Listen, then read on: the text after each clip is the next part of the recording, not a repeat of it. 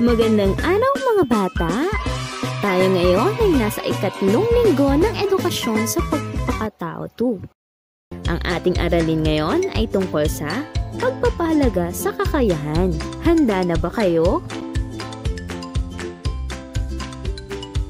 Natutuhan mo sa nakaraang aralin ng bawat bata ay nagtataglay ng iba't ibang kakayahan.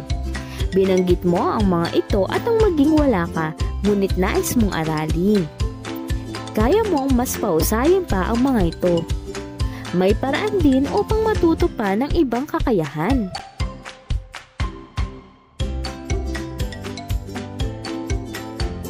Para saan nga ba ang mga ito?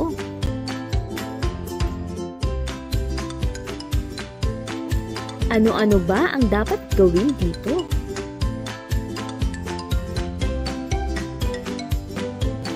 Pagtatapos ng araling ito, inaasahang napahalagahan mo ang saya o tuwang dulot ng pagbabahagi ng anumang kakayahan o talent.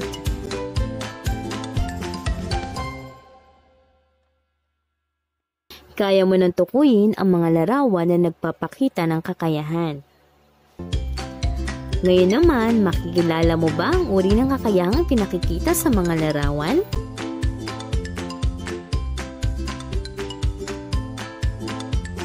Gawain sa pagkatuto bilang isa.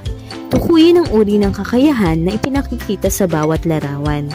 Piliin ang angkop na salita mula sa pagpipilian sa kahon. Isulat ang sagot sa iyong kwaderno.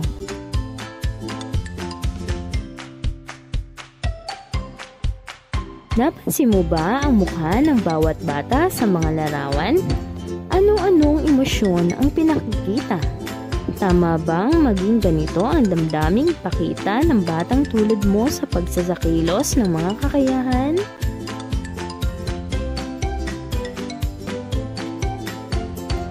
Gawain sa pagkatuto bilang dalawa.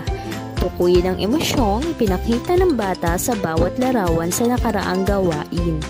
Isulat ang iyong pasya sa ikatlong hanay kung tama ba o mali na ito ang ipakitang damdamin sa pagsasakilos ng kakayahan.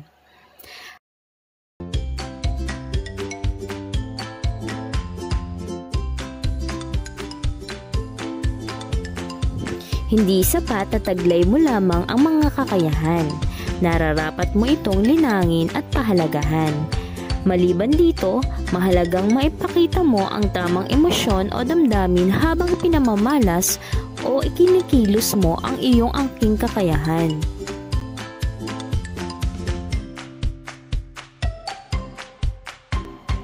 May ilan na yumayabang o nagmamataas dahil sa pagkakaroon nito. Ang iba naman ay tinatamad, natatakot o nahihiyang ibahagi ang mga ito. May mga batang napipilitan lamang at nagagalit habang ginagamit ang mga talento. Huwag mo silang tularan. Hindi tama ang mga gawaing ito.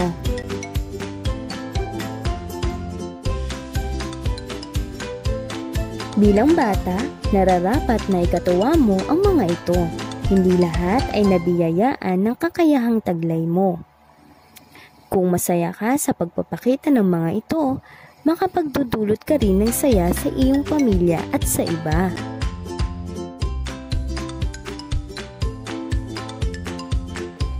Napahalagahan mo ba ang iyong mga kakayahan?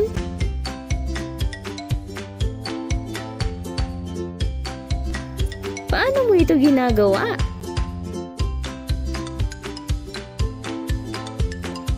Gawain sa pagkatuto bilang tatlo. Punuan ang mga bilog ng paraang iyong ginagawa upang maipakita ang pagpapahalaga sa iyong mga kakayahan. Isulat ang sagot sa iyong kwaderno.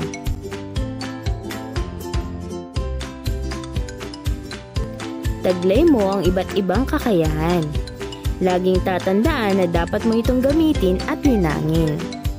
Mahalagang sa paggamit at paglinang mo nito ay kinakikitaan ka ng saya buong puso at sigla mo itong ibahagi sa ibang tao.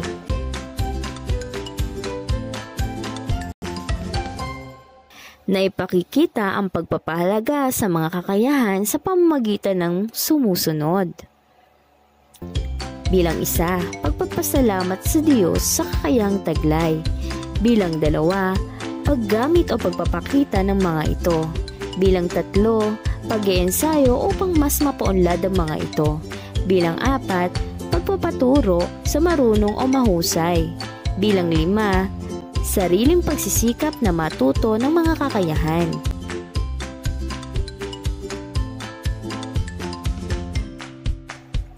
Ang pagpapahalaga sa mga kakayahan ay nagdudulot ng kasiyahan sa iyong sarili. Matutuwa din sa iyo ang ibang tao. Kalulugdan ka rin ng Diyos. Samantala, ang kawalang pagpapalaga ay maaaring mauwi sa paghina, pagkalimot o pagkawala ng kakayahan. Maaaring hindi mo na magawa ang dating kaya mong gawin. Huwag mo sanang hintayin mangyari ito sa iyo.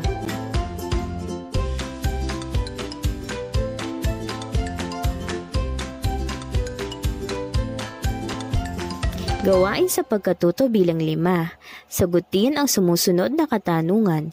Isulat ang letra ng tamang sagot. Gawin ito sa iyong kwaderno.